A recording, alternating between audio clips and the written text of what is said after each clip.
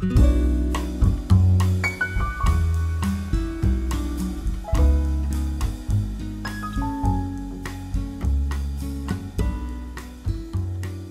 день, уважаемые пациенты!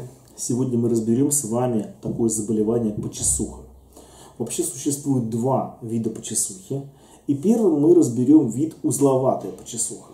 Это заболевание, которое чаще возникает у женщин приблизительно в возрасте 30-50 лет и характеризуется высыпание, а, высыпаниями в основном, в подавляющем большинстве на верхних и нижних конечностей, проще на руках и на ногах – а, возникают полушаровидные узелки. Узелки, которые достаточно сильно зудятся. Величиной они от 2-3 мм до а, полутора-двух сантиметров, то есть до лесного ореха, где-то приблизительно. Они достаточно явно э, выступают над поверхностью кожи. Э, узелки имеют буровато-красный цвет – Часто они очень сильно шелушатся.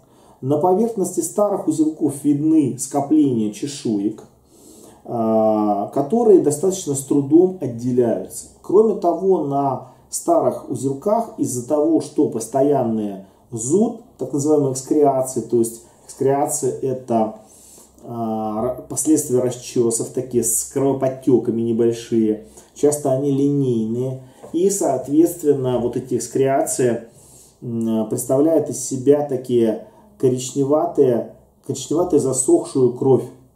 Поэтому вот такие вот экскреации. А, вот, и корочки на поверхности вот этих вот узелков имеются. Достаточно сильный зуд характерен, а, возникающий, как правило, приступами. В межприступный период может практически не зудеть. И течение заболевания крайне длительное. Узелки очень стойкие к терапии они имеют э, зависимость от часто желуч... заболеваний желудочно-кишечного тракта. Чаще всего это гепатиты, это желчекаменная болезнь, иногда заболевания э, почек и так далее. Э, бывает, отдельные узелки самостоятельно разрешаются, однако лечение крайне сложное и в ряде случаев требуется непосредственно даже прижигание жидким азотом. Вторая почесуха почесуха гебры. Она больше характерна для детей. Однако может также наблюдаться и у взрослых, но значительно реже. Дети, как правило, исключительно грудного возраста. Заболевание часто появляется в конце первого года жизни ребенка и представляет из себя э, сначала возникает ну такая вот подвид крапивницы, то есть сами волдыри. Что такое волдыри? Волдыри это элемент, который возникает у каждого человека после укуса крапивы, да, когда а, происходит контакт с крапивой. А, волдыри возникают часто а, на несколько часов, однако при почесухе они достаточно стойкие. И постепенно на фоне этих волдырей начинают появляться узелки, элементы характерные опять же для почесухи. А, соответственно, чаще всего они появляются опять же на верхних и нижних конечностях, то есть на руках и на ногах, чаще всего на сгибательной поверхности. Они быстро подвергаются расчесам, кровянистыми корочками. И э, вот на фоне этих волдырей появляются узелки, опять же, как и при почесухе узловатой. Но эти узелки гораздо меньше по размеру. Кроме того, на фоне этих узелков часто появляются пузырьки с серозной жидкостью. Они достаточно часто зудом непосредственно ну, как бы разрываются, разрываются ногтями. И на поверхности этих узелков часто можно видеть такую эрозию.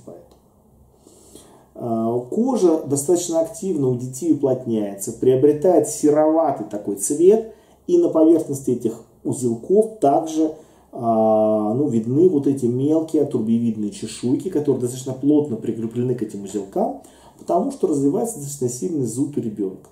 Нарушается, как правило, и псих, психическое состояние детей, потому что частый зуд, и часто сон плохой, такой ребенок крикливый. А, часто за счет интенсивного зуда на фоне узелков вместе с узелками а, можно увидеть отдельные такие беловатые рубчики – мелкие, потому что достаточно сильные расчесы при вот такой почесухи Гебры происходит. А, для почесухи у детей, а также редко наблюдается у взрослых, характерно припухание лимфатических узлов. Это происходит вследствие иммунной реакции. А, припухают лимфоузлы, как правило, паховые, подмышечные, а, реже другие группы лимфоузлов. Как правило, они такой пастозный, тестоз, вот консистенции теста. Как правило, они безболезненные, ну и достаточно большой величины. С окружающими тканями, как правило, не спаиваются и не воспаляется, не нагнаивается. А, Сергей Тимофеевич Павлов при подобных почесухах у детей описал а, то, что у таких деток отсутствует подошвенного рефлекса. То есть, когда вы проводите по подошве, так сказать, подошва не двигается, если по-простому говоря. А, что касается диагностики почесухи, то она достаточно проста в своей диагностике, потому что, по сути дела, в обоих случаях появляются узелки, на фоне которых появляются часто пузырьки, чешуйки и так далее, и формируется интенсивный зуд. Что касается причин, как я говорил, то часто это связывают либо с аллергической готовностью организма, типа диатеза у детей, либо с проблемами желудочно-кишечного тракта, чаще всего э, печени, поджелудочной железы у взрослых женщин. Что касается медикаментозной терапии, то при лечении почесухи используются различные комплексы витаминов, антигистаминные препараты типа эриуса, дезлоротадина и некоторых других, а, препараты а, гормонального ряда, в частности это гормональные мази, а, дегтярные ванны, это когда человек натирается дегтем наполовину с растительным маслом и ложится в теплую ванну, при тяжелых случаях это кортикостероиды. Кортикостероиды могут использоваться чаще всего в форме инъекций, так и в форме таблеток. Ванна с ромашкой чередой. Ультрафиолетовое облучение и пувотерапия. А, ну, также используются различные чистки кишечника, препараты для улучшения работы желудочно-кишечного тракта по типу гиптрала и многих других. При появлении э, расчесов и осложнений в виде гнойничковой инфекции, типа гнойничков и пусту, назначаются антибиотики как в виде мази, так и в форме таблеток при распространенном процессе. При необходимости диагностики и лечения почесухи как у детей, так и у взрослых вы можете обращаться к дерматологам нашего медицинского центра платной КВД в Москве. У нас принимают опытные специалисты, которые занимаются диагностикой и лечением различных кожных заболеваний. Ждем вас в нашей клинике, а также подписывайтесь на наш канал на YouTube и наш канал в Instagram. Спасибо за внимание.